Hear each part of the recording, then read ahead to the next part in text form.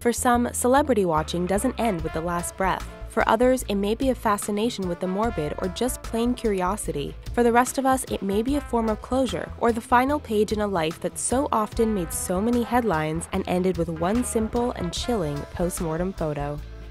Marilyn Monroe Actress, model, and sex symbol Marilyn Monroe dominated the 1950s when it came to pop culture icons. What had started out as a pinup model career grew so big that even today actresses are compared to or try to emulate the famous blonde bombshell. Unfortunately, Monroe struggled with depression and addiction throughout her life, and it caught up with her in 1962 when she committed suicide. The resulting chilling post-mortem photograph, while peaceful looking, shows Monroe looking nothing like the way we were used to seeing her. River Phoenix. In the late 1980s and early 90s, River Phoenix was a star on the rise. Thanks to roles in films like Stand By Me and Indiana Jones and the Last Crusade, Phoenix was slated as the next big thing. In 1993, it all came to a sudden end when he overdosed on cocaine and heroin while partying at Johnny Depp's Viper Room in Hollywood. The death shocked the entertainment world and left us with this final shot of him from his funeral. Anna Nicole Smith. It's ironic that Anna Nicole Smith was often compared to Marilyn Monroe for much of her life and that she died in a similar fashion. The busty blonde had made a name as a successful fashion model and Playboy bunny. In 2007, Smith was found dead in a Florida hotel room as a result of a drug overdose. With the media in a frenzy, a shot of Smith in a body bag surfaced online as a chilling final photograph from the troubled model. Che Guevara if you walk around any university or college dorm, you're likely going to see at least a couple of t shirts or posters with Che Guevara. The historic communist guerrilla and revolutionary is best known for helping to overthrow the government of Cuba and install Fidel Castro as president. In 1967, Che's campaign of supporting revolution came to an end when he was captured and executed by Bolivian forces. His body was displayed and photographed. With his eyes still open, these photos chillingly make Che look very much alive despite being shot nine times. Ted Bundy from the famous, we move on to the infamous in the form of serial killer Ted Bundy. Throughout the 1970s, Bundy solidified his reputation as being a man of pure evil. In all, he murdered at least 30 people, and experts think this number could be higher. In 1989, he was executed by electric chair in Florida. The post-mortem photographs are disturbing because they not only make Bundy look very much alive, but also show evidence of his execution by electrocution.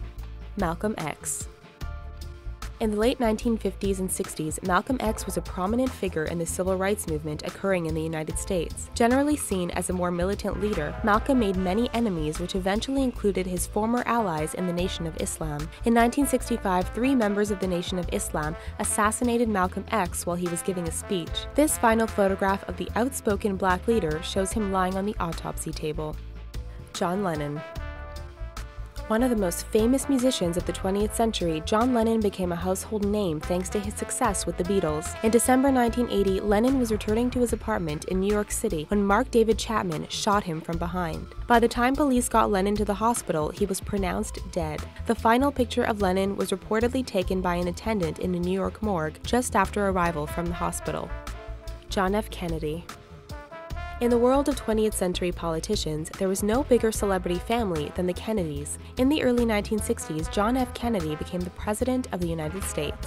While he presided over a troubled time in U.S. history, his tenure was cut short in 1963 by an assassin in Houston, Texas. Since then, conspiracy theories have come and gone and come again. The final photo of the president is of his body during the autopsy, and his open eyes and mouth only make it more chilling to see.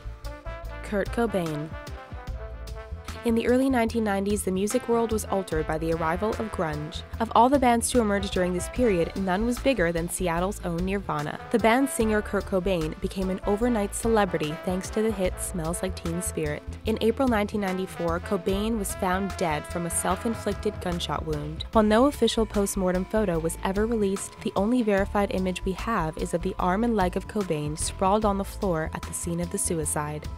Michael Jackson it's hard to think of how the music world would be today if Michael Jackson hadn't been around. The king of pop dominated the charts, and odds are you've danced to at least a few of his songs in your life. In June 2009, Jackson went unconscious and died in his LA home. The final chilling image of Jackson, used in a trial afterwards, shows his body on a gurney with the intubation tube still attached from when doctors were trying to resuscitate him. Do you find it creepy or intriguing looking at postmortem photos? Maybe a bit of both? Share your opinion with us in the comments, and don't forget to subscribe to our channel for more incredible videos like this one. Thanks for watching.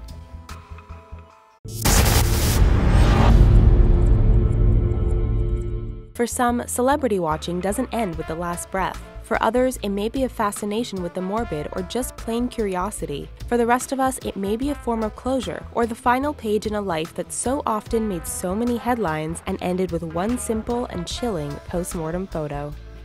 Marilyn Monroe Actress, model, and sex symbol Marilyn Monroe dominated the 1950s when it came to pop culture icons. What had started out as a pinup model career grew so big that even today actresses are compared to or try to emulate the famous blonde bombshell. Unfortunately, Monroe struggled with depression and addiction throughout her life, and it caught up with her in 1962 when she committed suicide. The resulting chilling post-mortem photograph, while peaceful looking, shows Monroe looking nothing like the way we were used to seeing her. River Phoenix.